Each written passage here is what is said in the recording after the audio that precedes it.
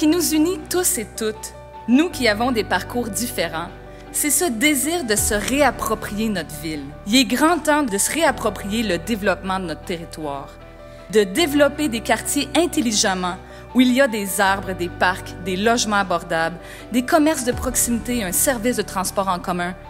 Il est grand temps de se réapproprier la gestion de notre municipalité, de diversifier nos revenus, de contrôler notre dette, de planifier à long terme, d'investir dans nos infrastructures plutôt que dans des projets qui flashent, de miser sur nos employés, qu'eux aussi puissent se réapproprier leur ville et sentir qu'ils sont écoutés à la hauteur de leur expertise terrain.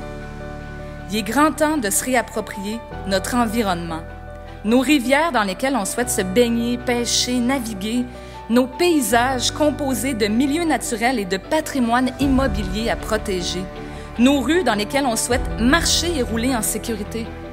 Il est temps aussi de se réapproprier notre culture, notre identité propre, en commémorant les femmes et les Premières Nations qui ont contribué à bâtir notre société. En n'oubliant pas que notre principal produit d'appel, c'est nous. Ce sont nos commerces, nos artistes, nos forêts, nos montagnes, nos festivals, notre communauté étudiante. Nous sommes la capitale d'une des plus belles régions du Québec. Enfin, il est grand temps de se réapproprier notre économie dans toutes ses facettes. Miser sur l'effet multiplicateur d'un dollar dépensé auprès d'une entreprise d'ici. Créer une synergie entre nos entreprises Comprendre qu'un travailleur autonome, une agricultrice, une commerçante, une artiste, un groupe d'entrepreneurs collectifs, un gars de la construction, une enseignante, un préposé aux bénéficiaires, une chercheuse, ce sont aussi des acteurs et actrices économiques. Quelle autre ville peut se vanter d'opérer une entreprise d'hydroélectricité et d'en récolter les fruits?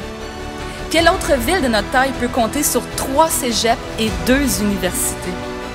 Se réapproprier notre économie, c'est miser sur nous.